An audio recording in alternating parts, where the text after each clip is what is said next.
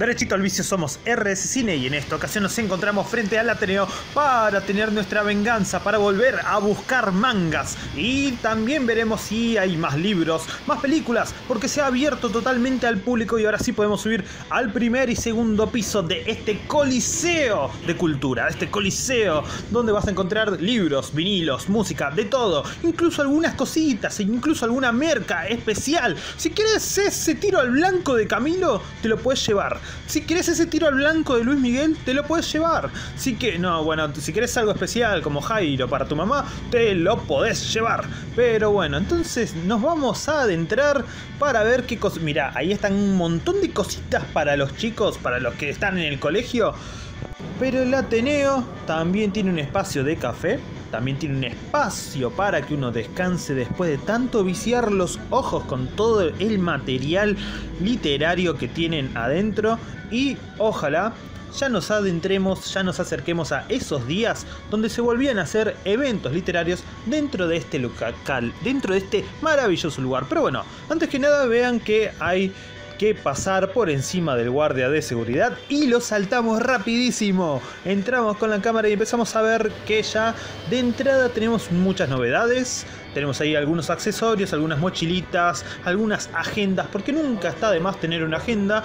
Mira, libros de política, libros de... Mira, Julia Quinn, tenés ahí de las series. Ah, muchos de estos libros son adaptados después a series de Netflix. Así que sí, anda a la fuente y anda a buscar los libros originales. Pero bueno, como les decíamos sobre las agendas, vas a encontrar un montón de agenditas acá por el costado. Vas a tener libros de diferentes continentes. En español, libros en inglés, no sé si hay en otros idiomas, pero hay artbooks, por ejemplo, o libros o sagas de novelas juveniles. Acá ya nos encontramos con algunas cositas bien, pero bien copadas, tipo de Harry Potter, algunas de Star Wars. Y en esta vidriera, donde tenés ahí los 7 libros de Harry Potter, las 7 novelas, tenés también unos vasitos, unas tacitas de DC. Antes estaba repleto de cosas de Harry Potter, pero ¿qué pasa?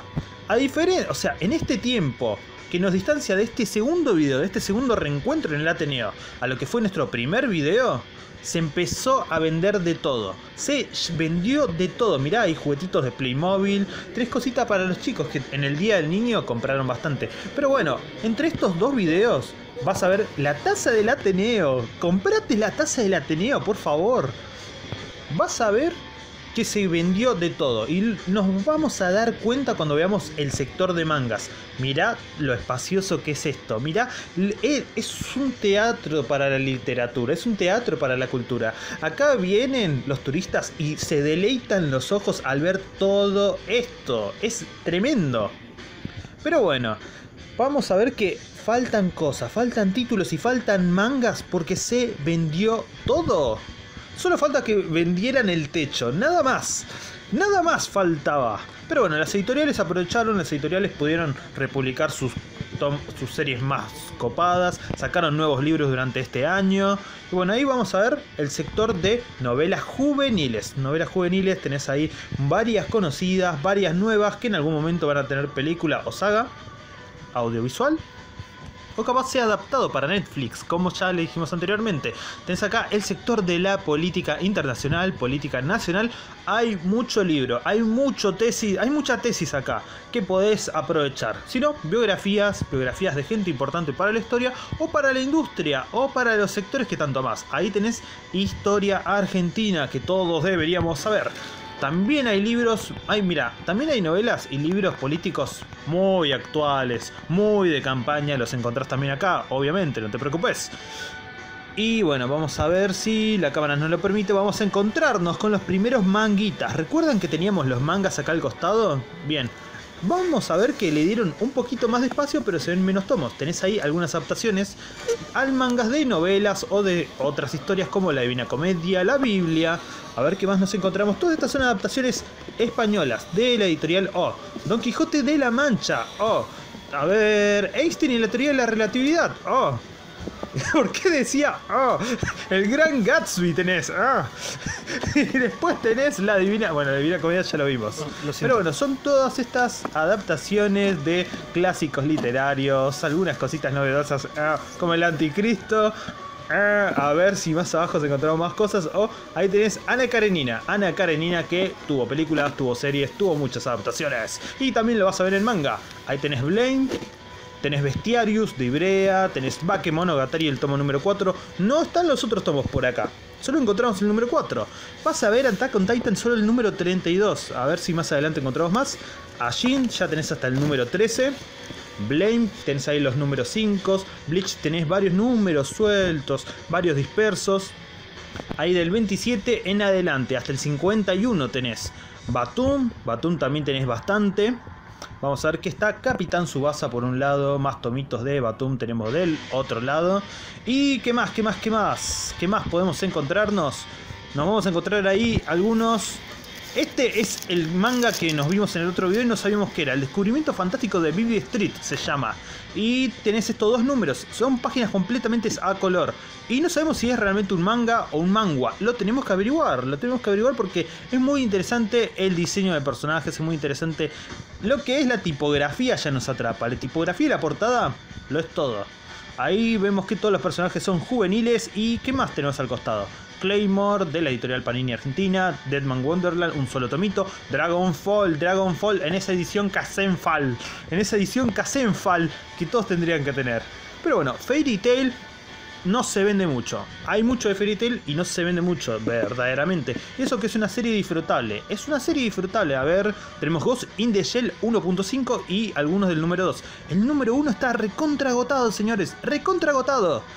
Más abajo tenemos Golden Kamuy, también de Panini. Tenés ahí también otras series de Panini como Grand Blue Fantasy, I Am Hero de Iberia. Tenemos ahí el del Calatras, el del Calatras. Y nos encontramos ahí Bocha de Night of Sidonia. No se vende Night of Sidonia acá en el Ateneo. No se vende. Hay un montón de Night of Sidonia. Wow. A ver, más al costado vamos a ver que quedaron algunos poquitos tomos de Nejima. Tenés esas ah, guías audiovisuales de Massinger Z. Al final no era el manga, son solamente guías.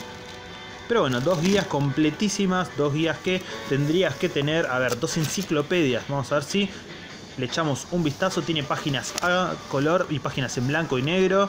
Está bastante bueno para el que no conoce la historia, se reinforma. Y más abajo nos encontramos más Nejimas, más Netorare, más cositas de Ibrea como por ejemplo mm, el héroe del escudo, tenés ahí varios, tenés ahí un poquito de...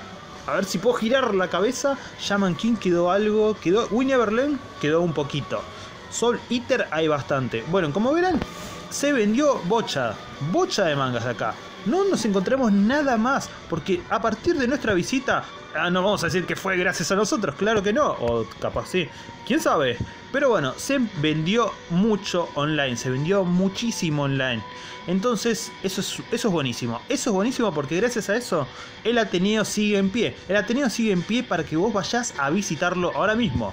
Ahí tenés algunas guías por si querés viajar por la Ruta 40 o por diferentes lugares del país. ¿Qué más nos encontraremos? Mira, material audiovisual para los amantes del cine. Tenés el inventario crítico del cine argentino, muy pero muy copado. Tenés algunos libros nuevos, Mujeres, Cámaras, Acción. Tenés también libros clásicos, a ver, guías de cine, tenés ahí de Roberto Cineáfilo, no, me sé el apellido.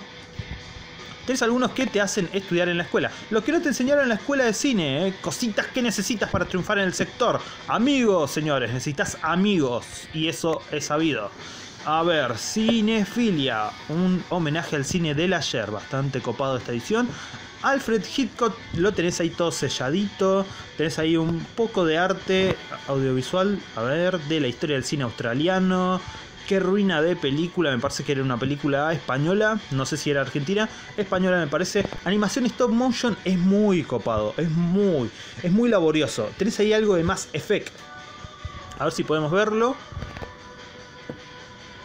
Más effect de Garonte a, de Caronte a la galaxia. A ver, tenés tomos, todos tomos en perfecta calidad. Tomos en tapa dura, tomos en un papel bien, bien perdurable y a ver si nos encontramos más cosillas, porque hay de todo. Acá tenemos varios cómics. Tenemos cómics como Blue State. El área de cómics sigue igual. El área de cómics tiene todos los cómics que necesitas. El de la Torre Oscura está todo ahí. Como se habrán dado cuenta, hay más cómics, o sea, hay más variedad, pero hay menos volumen de cada cómic porque se vendió posta un montón. Ahí tienen los tapaduras de colección de Condorito, Condorito, la historieta chilena primordial. Para que conozcas lo que es la cultura chilena, tenés que leerte Condorito, sí así. Ah, recuerdo esas tardes. Ahí tenés Scott Pilgrim. Recuerdo esas tardes en los que uno iba y leía uno de esos cositos de Condorito del kiosco de diarios. Era como. Es parte de nuestra infancia, es parte de nuestra infancia. Pero bueno, viendo los cómics que tenemos ahora, tenés algo de Alan Moore Tenés varias cosas de DC. Ahí tenés Batman La Boda, que es un evento muy necesario para los que siguen el último eh, run de Batman de Omnipress. Lo necesitas leer. Después tenés, a ver, Kingdom Come en una edición completa bastante copada. Trasmundo de Enrique Altate, de Alcatena y de Memacitelli. Me encantan que estén estos cómics acá. Me encantan que estén todos estos cómics nacionales. Los encontrás también acá. Los encontrás acá en el Ateneo. Y sí, hace envíos a todo el país, claro que sí. ¿En qué página? ¿En qué página era? Es en temática con K.com. Temática.com y encontrás los títulos que tiene el Ateneo y sus diferentes locales. Porque me parece que el Ateneo estaba unido con otros locales, no me acuerdo cómo era el tema, pero te hace el envío a todo el país. Y bueno, acá es donde le decimos, ¿te querés tomar un café? ¿Te querés tomar una pausa? tomás un café ahí. Si no, seguís con el vicio con nosotros. Vamos a ver qué otras áreas nos encontramos acá de lectura y si subimos al primer, segundo piso, y sí, obviamente, hay un subsuelo, hay un infierno para todos los lectores que sí o sí tenemos que atravesar. A ver, policiales, policiales, te digo, la portada no siempre llama la atención en este tipo de libros, pero hay algunos que son muy reconocibles, como el del hombre que persigue a su sombra, la reina en el Palacio de las Corrientes de Aire, la saga de Millennium, la saga de Millennium que fue adaptada dos veces. Adaptada en su país original y después adaptada por Estados Unidos, que fue adoptada por la película, se titulaba La chica del tatuaje del dragón, que no fue muy bien recibida realmente la peli, por eso no tuvo una secuela. Pero vamos a ver que subiendo las escalerillas nos encontramos ya en el primer piso donde, mira, por un lado tenés toda esta área con varias novedades, con varias cositas re loquillas. Acá siempre se reunían para hacer eventos, es genial. Pero nos acercamos ahí al borde del precipicio para ver Primero, que por un lado. A ver, mirá lo que es esa imagen, mirá lo que son todas esas estanterías. Y abajo tenés el área del Ateneo Junior para los más chiquitos. Es sublime, señores, es divertidísimo. Vamos a subir un piso más, porque en esa área nos encontrábamos mucha música. Acá tenemos un pequeño dibujito de Nick, el que hizo a Gaturro, el gato turro, que siempre estaba en el diario de la Nación o en su propia revista, la revista de Mundo Gaturro. A ver, subimos y... Ah, es que es muy espacioso ya este segundo piso. Es muy espacioso. Y nos encontramos acá en este esquina, mira cómo se ve todo desde abajo. Son todos hormiguitas lectoras como yo, claro que sí. Pero acá tenés películas y algunos vinilos. Packs y series, vamos a encontrarnos por acá. Die Kunst der Fug, tenés Cracks Quartet, tenés. Algunos son, a ver, piezas musicales, algunos son conciertos completos. A ver, Mother Mozart, tenés una interpretación de Mozart de otros artistas. Vamos a ver más abajo que tenés el Drummerong, me parece que era ese.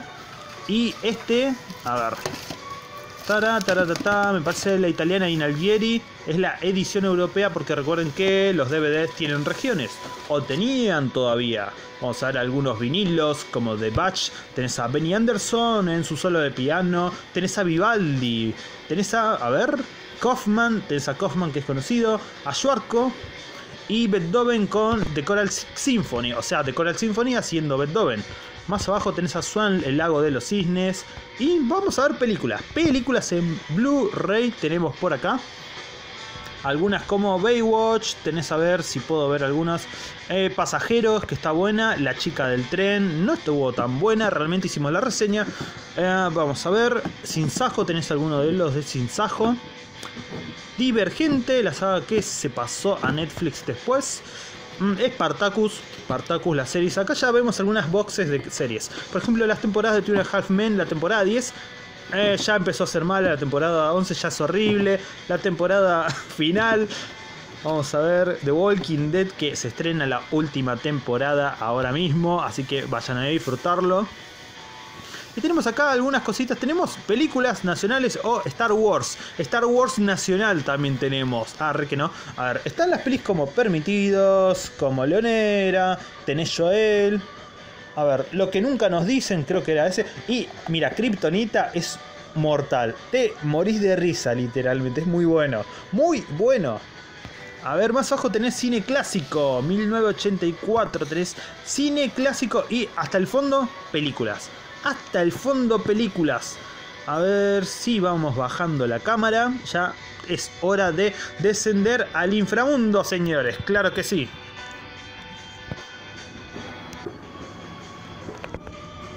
Y bajando las escaleras mecánicas nos encontramos en el Ateneo Junior.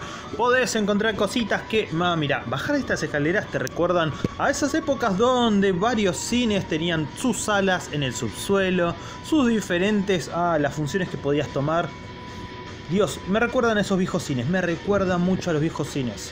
Encima, por un lado, en cierta área tenés películas ya lo vimos en el primer piso, pero acá tenés todo música. En la entrada todo música. Te encontrás tangos, te encontrás folclore, rock nacional, rock internacional, reggae, te encontrás varias cosas. Ahí tenés los vilos para los vinilos, no los vilos. Para los coleccionistas tenés diferentes vinilos en exhibición. Tenés desde Luis Miguel, Seremos, tenés el tiro al blanco de Camilo, tenés Soda Stereo, tenés ahí... Eh... Ah, mirá, mirá, mirá, tenés a los de Uy, no me salen los nombres. Tenés Charlie García Unplugged. Y acá algunas cositas para los más chiquitos. Tenés algunas cositas de Disney. Oh, a mí me encantan estos. Los libros de lectura para chicos, pero te vienen con un Lego. Te vienen con un fucking Lego original para que armes. Tenés el Lego City, tenés una historia del Lego Superman, tenés Lego Harry Potter, ahí lo tenés a Harry todo desarmado para que vos lo armes. O tenemos ahí algunas, a ver, algunas mascotillas. Ese es buenísimo. Aventuras en el castillo tienen al Lego de Ron. Y por lo que te digo, te reconviene, te reconviene. Si vos compras Legos y sabes que son caros, el libro con el Lego te reconviene de una. A ver, tenemos ahí más discos, los discos más populares de todos los tiempos del pop, del rock, para los que todavía le gustan tener los discos en físico. Acá tenés variedad, tenés variedad para elegir. A ver, tenés cosas de rock nacional para chiquitos y acá tenemos literatura infantil. Ya arrancamos con la parte infantil que tenés novelas conocidas, tenés productos como de series de Disney como Vía, tenés La Granja de Zenón también. Y a ver si tenés un stand ahí de los Muppets, tenés a ver varias cositas de topa. A ver, él quería cambiar el mundo. Nina, tenés mucha literatura infantil como quisiera ser o la vaca en su hamaca. Ahí tienes una guía para jugar a la Mongoose. Es increíble. A ver, Luna de Plutón de Dross. Acá ya tenés novelas ya de youtubers o novelas así de eh, gente famosa. Tenés por ejemplo Mikel Tube, tenés por ahí. De Crazy Hacks tenés. Troll Lardy y el Pan Dorado, Lina Vallejos y su familia anormal, deforme y disfuncional. ¿Por qué le llamaba así? ¿Por qué llamabas a tu familia anormal en un libro? ¿Por qué es tan forra? No puedes decirles a tu familia en un libro. Pero bueno, vamos a ver que, obviamente, lo dijo en joda, obviamente. Pero igual sea como, ah, mi familia. Era Lisa Simpson haciendo su peli. Pero bueno, acá tenéis vinilos muy grosos. Vinilos de Nirvana, tenés ahí de Madonna, tenés ahí de Queen. Ya nos vamos yendo, nos vamos yendo, viendo ahí al costado de las carteleras, donde nos muestran un poquito de la historia del Gran Splendid, donde nos cuentan un poquito de la historia de cómo pasó a ser un teatro, un cine, un estacionamiento, arre que nunca fue un estacionamiento, pero bueno, ya vimos, ya nos divertimos y nos encontramos los pocos mangas que quedan vigentes, pero sabemos que vendrán más, sabemos que venderán más y sabemos que lo vas a poder conseguir online para todo el país. Somos RC Cine, muchas gracias por seguirnos. Si te gustó el video, por favor, escribinos. Queremos saber si realmente te gustan estas cosas o si preferís ver a tu tía. Nos vemos, derechito al vicio.